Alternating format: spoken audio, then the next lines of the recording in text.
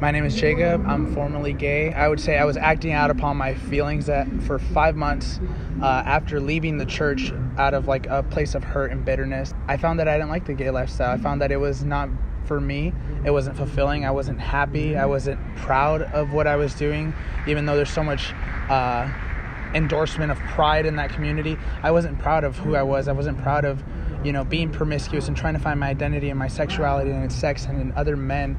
Um, I knew that there was only one other way, and I, uh, I chose to follow God and surrender this part of my life, this surrender my sexuality. I felt like He called me to do that, and now I'm in the most fulfilling season of my life. I feel happy. I feel joyful. I feel peace about who I am and knowing that I'm secure in who I am. I don't have to do anything to please anyone. I don't have to do anything to to earn love. I'm loved and I'm well known by people. And you know, if this bill was passed, I wouldn't be able to to be in this season of my life.